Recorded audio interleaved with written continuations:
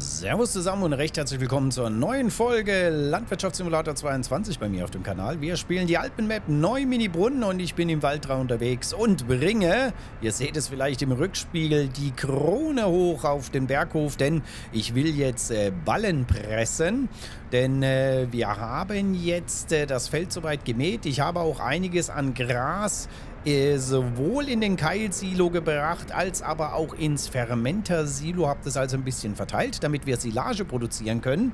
Aber als nächstes brauchen wir dringend auf unserem Berghof natürlich auch Heu. Und Heu, da müssen wir wenden. Da ist unser kleiner Traktor unterwegs und der wendet da gerade das äh, Gras. Und äh, ich habe ja mittlerweile die, äh, den Schwader mit hochgebracht und jetzt bringen wir die Krone mit hoch, als äh, um Ballen eben zu machen. Und dann schauen wir uns das Ganze mal an, denn ich habe mir mal die PS-Zahlen angesehen von den verschiedenen Geräten und wir brauchen eigentlich auch für den äh, Wickler hier, für die Krone keine 100 PS. Also das heißt, die können wir mit mit dem Steyr als auch hier natürlich mit dem Valtra.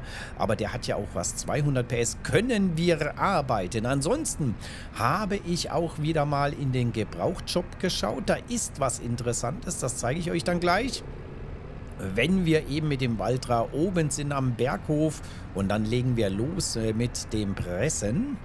Und äh, ich tue mich, wie gesagt, ein kleines bisschen noch schwer in dem Projekt da oben mit dem Berghof und der großen Wiese, mit welchen Gerätschaften wir denn hier arbeiten. Was sich auf jeden Fall gezeigt hat, wir kommen hier wesentlich besser, jedenfalls mit Geräten und mit den Traktoren hier, wenn wir die Straße fahren hoch. Also das ist auf jeden Fall empfehlenswert, hier dann doch den kleinen Umweg zu fahren. So, das hier ist ein bisschen die größte Steigung, aber wir haben immer noch mehr als 20 km/h drauf. Und ihr erinnert euch hier auf dem Feldweg, wo wir da als hochgefahren sind, was ja auch ein kürzerer Weg ist. Ja, da brauchen wir oder da sind wir teilweise nur mit 4, 5 km/h hochgekommen. So, das heißt, wir sind jetzt oben. Und ich überlege gerade, ich denke, wir werden mit dem Steier, werden wir jetzt die Schwart fahren und dann anschließend eben hier mit dem Waltra dann die Ballen pressen. Und das Schöne ist ja, ich zeige euch das jetzt gerade mal. So, wobei wir gucken erstmal hier rein in den Gebraucht, denn er hier, der wäre natürlich interessant. Da bin ich jetzt einmal überlegen, ob wir mit dem hier arbeiten, aber ist der nicht vielleicht doch ein bisschen zu groß? Hier am Berg mit diesem Ballenladewagen zu arbeiten, aber irgendwie müssen wir ja die Ballen dann auch letztendlich ins Ballenlager bringen. Hm, ich würde einfach sagen, wir probieren es und wir können mit dem 180 Zentimeter Ballen aufnehmen und äh, das macht auch die Krone. Und bei Heu, wo wir ja nicht wickeln müssen, wäre das natürlich von Vorteil. Hm. Also wir haben dann wirklich jede Menge Gerätschaften jetzt da oben und ich weiß noch gar nicht, wo ich das alles parken soll. Aber das werden wir dann sehen. Ich würde sagen, ja, es ist halt wie gesagt sehr, sehr schwer. Vielleicht brauchen wir doch eher so einen kleineren Wickler oder, oder einen kleineren Ladewagen. Hm. Ich stelle es mal hinten an, aber wir werden uns dieses Problems definitiv stellen müssen, weil irgendwie müssen wir ja die Ballen da reinbringen. Und der hier ist mir auch zu groß. Also wir schauen mal, wie viele Ballen wir da jetzt rauskriegen, über welche Stückzahlen wir hier sprechen, weil mit dem hier kriegen wir 28 Ballen, mit dem 24. Vielleicht finden wir ja irgendwo auch einen kleineren Ballenwagen, so für 12 oder 14, mit denen wir dann die Ballen einladen können. Ich habe da sogar was am überlegenen Bergmann oder irgend sowas war es doch, oder? Lasst mich mal kurz hier bei den Anhängern. Ich bin der Meinung, wir hatten ja auch, wir haben ja auf der Galgenberg, haben wir doch auch so einen ähm, Mod. Der hier, oder? Der Strautmann. Wenn ich richtig weiß, der müsste doch Ballenwagen. Ich glaube, das wäre das richtige Teil. Da müsste man dann mal schauen, wie viele Ballen, Ballen wir da drauf kriegen. Lass mich kurz überlegen, ist das es wirklich Ballenwagen? Nee, das ist er nicht. Das ist er nicht. Den haben wir nicht auf der Galgenberg, weil da hat nämlich noch eine weitere Funktion gehabt. Zum Transportieren von Paletten war das der hier. Selbstladende Paletten, Ballenwagen. Die Frage ist, ob das dann auch ein Autoload ist oder nicht. Denn da bin ich natürlich jetzt auch wieder ein bisschen skeptisch oder wie wir das dann am geschicktesten natürlich runterbringen auf den Hof. Naja, wir werden sehen, wir werden schauen. Jetzt müssen wir erstmal die Ballen pressen und dann sehen wir weiter. Aber was ich noch äh, kurz zeigen wollte, ist an der Stelle nämlich mal eine kurze Übersicht hier über unseren Hof. Das Schöne ist ja, wir können Rundballen machen, weil wir haben natürlich hier überall Zäune, sollten uns die Ballen abhauen. Wir haben hier Zäune, und wir haben natürlich hier drüben überall Zäune. Also das heißt, äh, wir können es mal mit den Rundballen probieren und brauchen keinen Wickler, der uns die Ballen querlegt, damit sie natürlich nicht hier den Berg runterrollen. So, jetzt sehe ich hier, dass der Kollege hier wieder mal steht. Und das Wild ist auch wieder da. So, ja, da hat er ein bisschen Probleme. Das habe ich schon gesehen. Wir werden ihm ein kleines bisschen helfen, wenn wir hier erstmal ein bisschen vorarbeiten. Ein kleines Vorgewende. So. Weil schon beim Mähen hatte er auch das Problem, dass er dann hier stehen geblieben ist. Mann, Mann, Mann. Ist das nicht ein tolles Panorama hier? Ups. Okay, lass mich mal ganz kurz. Oh, yep. Dann machen wir da erstmal ein Thumbnail. Zack. Wunderbar. Und weiter geht's.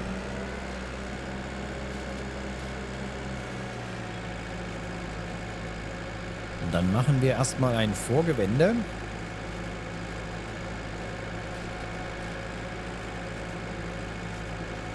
So, jetzt bin ich mal gespannt, wie er hier den Hang hochkommt.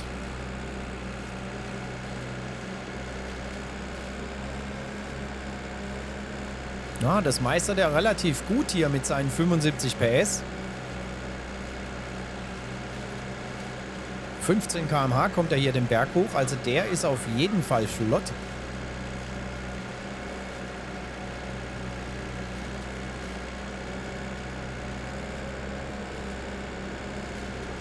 Ah, das sehe ich gerade. Da müssen wir auch mal ein bisschen noch fahren. Ja, ja, da liegt nämlich auch noch Material.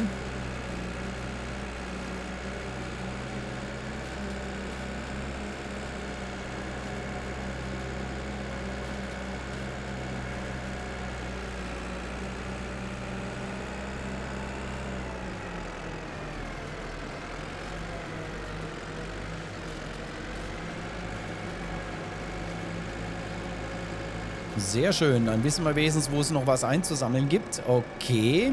Jetzt schauen wir mal, ob der Kollege jetzt hier wieder sauber arbeiten kann. Ob der dann hier... Ja... Ja, da habe ich immer nur jede zweite Spur dann eingesammelt vor ihm im Ladewagen, damit wir halt eben da ein kleines bisschen, weil ich in der Hoffnung, dass der Helfer das dann schafft,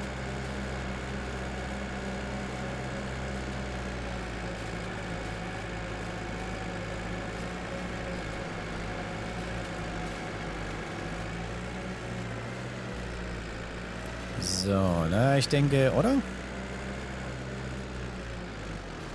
Ja, das sieht doch ganz gut aus.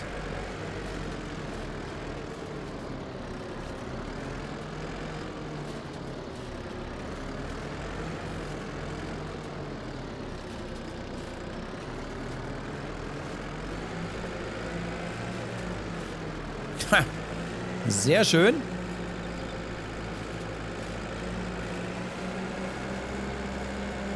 So, nochmal ein Foto. Bitte lächeln. Dankeschön. Okay, also das scheint, dass er das hinkriegt. Dann gehen wir jetzt mal rüber zu unserem Steier. Und äh, irgendwo habe ich doch noch das Gewicht, ne? Das Gewicht, das Gewicht, das Gewicht steht hier vor dem Schafstall. Übrigens, die Wolle habe ich auch in der Zwischenzeit verkauft, weil da war natürlich äh, der beste Monat der April, der Mai. Ach, jetzt hat er dann doch wieder die Arbeit eingestellt, ne? So wie ich das sehe. Okay. Ja, das liegt eben daran, weil die Spuren nicht gemacht sind. Dann machen wir das so. Dann müsste er doch auf jeden Fall... So, jetzt. Okay, so. Gewicht haben wir dran. Gewicht haben wir dran, aber wir müssen eigentlich hier raus.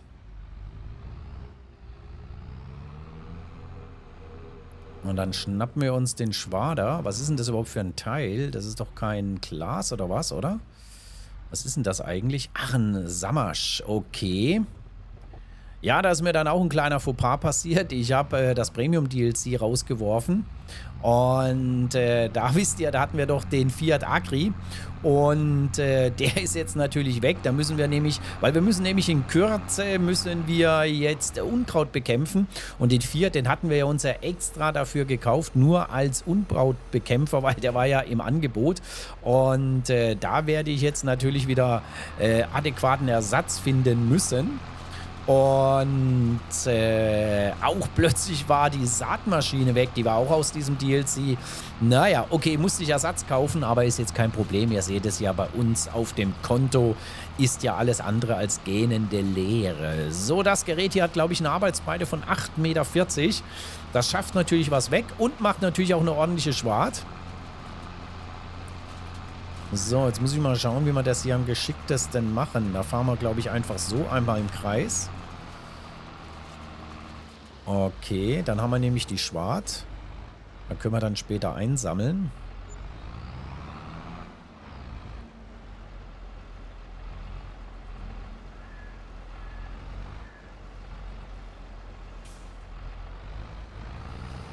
Ja, das machen wir jetzt erstmal von Hand. Soweit selbst. Ja, okay, okay, okay. Da fahren wir dann eine halbe Schwart, dann können wir dann auf dem Rückweg den Rest mitnehmen. So, er wendet da unten fleißig, das scheint jetzt zu funktionieren.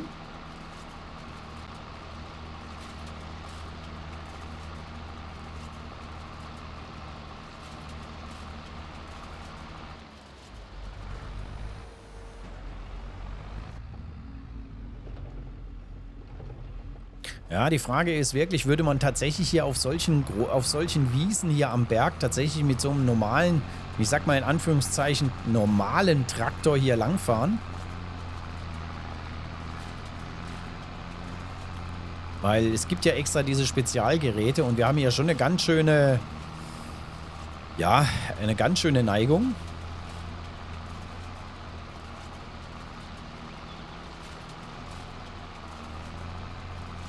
Aber auf der anderen Seite muss ich sagen, also wirklich hier mit diesem Kleinzeug hier zu fahren, das zieht sich dann. Ja, wir können das natürlich mit dem Helfer abarbeiten, gar keine Frage. Aber hier diese kleinen Schwarte und so weiter, wir müssen dann wirklich dutzend Male hier übers Feld fahren. So, jetzt würde ich hier da vorne nochmal ein Vorgewende fahren wollen.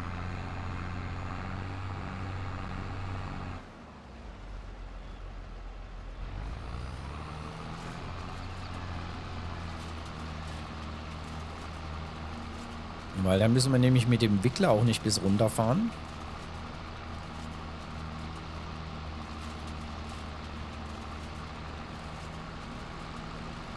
So.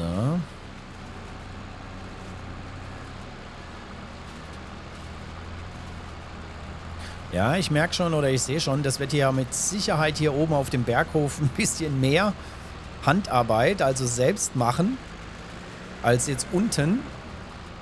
Da können wir natürlich sehr vieles mit dem Helfer abarbeiten, aber hier müssen wir, glaube ich, schon das äh, ziemlich oft eingreifen und helfen und unterstützen. Das wird jetzt hier mit den Helfern nicht ganz so easy sein. Und die Gerätschaften hier bei der Neigung, die haben natürlich auch ein bisschen Probleme. Das ist auch der Grund, warum ich äh, den ursprünglichen äh, Schwader, den ich hier eigentlich vorgesehen hatte, der hat nämlich hier generell ist der immer aufgesessen. Das hat überhaupt nicht funktioniert. Und deswegen schaue ich jetzt mal, wie das mit dem Gerät hier aussieht. Das scheint aber soweit zu funktionieren. Wir werden jetzt mal schauen, wie das läuft mit dem Helfer. Ob der jetzt hier soweit zurechtkommt. Weil dann springen wir nämlich rüber und fangen mal an, Ballen zu pressen und schauen uns das mal an, ob wie das funktioniert, ob uns die Ballen abhauen, ob sie liegen bleiben oder wie die sich jetzt hier am Berg verhalten. So, lasst mich aber die Ballen einstellen auf 180 cm. Machen wir hier gleich große, machen wir Nägel mit Köpfen.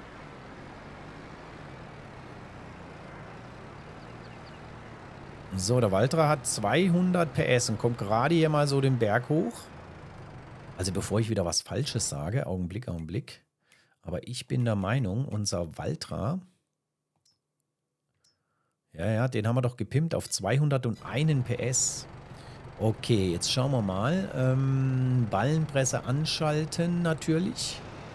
Ich überlege nur, sollen wir automatisches ablegen? Lassen wir mal. Das lassen wir jetzt erstmal. So, wir haben da noch Stroh drin. Das wechselt sich jetzt natürlich zu Gras beziehungsweise Heu. So, der Steier macht seinen Job und wir sind hier mit drei Maschinen jetzt hier auf dem Feld unterwegs. Und ich kann es immer nur wiederholen, es ist doch einfach ein geiles Panorama, oder? So, da machen wir natürlich auch noch schnell ein Thumbnail. Zack.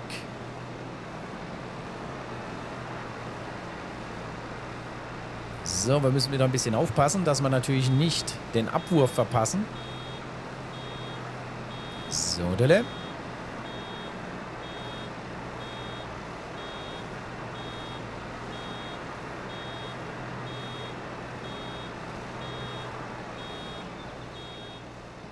Okay, gleich ist es soweit.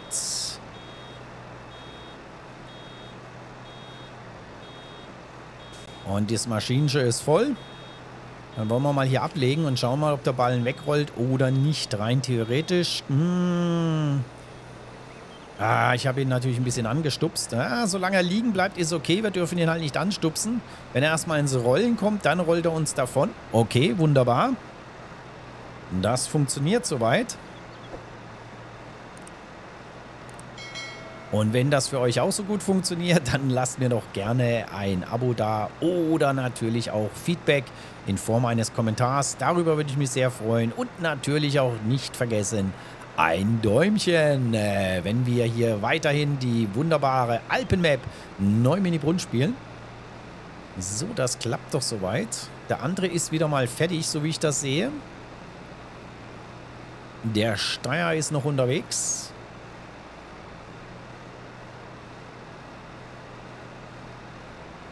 Der macht noch seinen Job, aber da müssen wir dann auch mal schauen. So.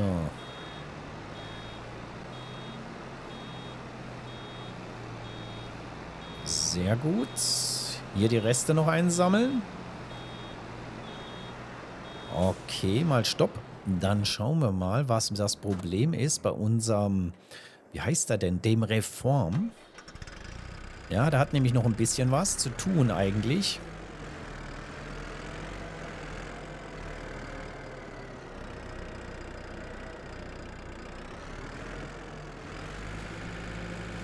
So, Dele, jetzt lass mich aber nicht im Stich.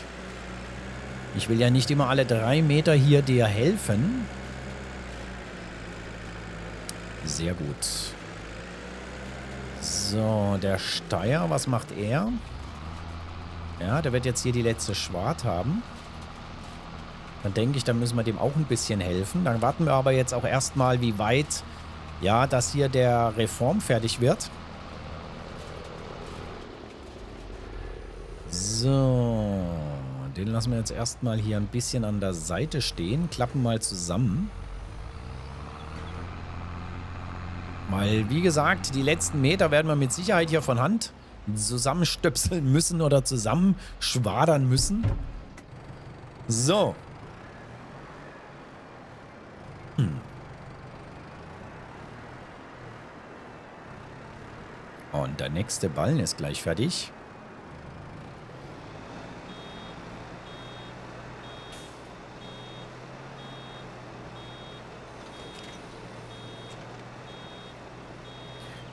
Da müssen wir erst ein bisschen vorfahren und dann schließen, damit wir ihn nicht anstupsen. Und soweit klappt das, glaube ich. Dann geht das mit der Krone.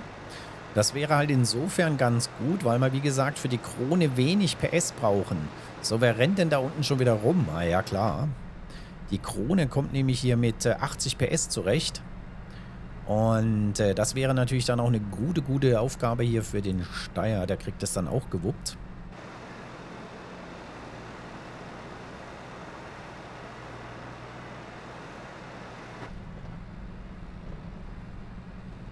Also im Moment muss ich sagen, klappt das doch ganz gut mit den Ballen und eventuell würde ich dann doch den großen Ballenwagen nehmen. Denn ich bin mir nicht ganz sicher, ob der Kleine halt ein Autolot hat. Ich würde einfach noch mal ein bisschen schauen in den Mods, ob ich da vielleicht was finde. Denn ein kleiner Ballenwagen, der auch ein bisschen wendiger ist, wäre halt nicht verkehrt. Jo, so, aber das soll es dann ja wieder mal gewesen sein. Wir legen hier den letzten Ballen ab den letzten Ballen mit der Krone. Und auch da gibt es mal noch ein ganz kurzes äh, Thumbnail. So. Zack. Und ich darf mich recht herzlich bei euch bedanken. Ich mache das jetzt hier noch so ein bisschen fertig und hole euch dann wieder dazu, wenn wir die Ballen einsammeln und dann natürlich auch verladen. Ich sage recht herzlichen Dank von der neuen Mini-Brunnen von unserer Alpenmap und wir sehen uns in der nächsten Folge dann wieder. Bis dahin sage ich Tschüss, ciao, Cheerio, euer Badenfarmer.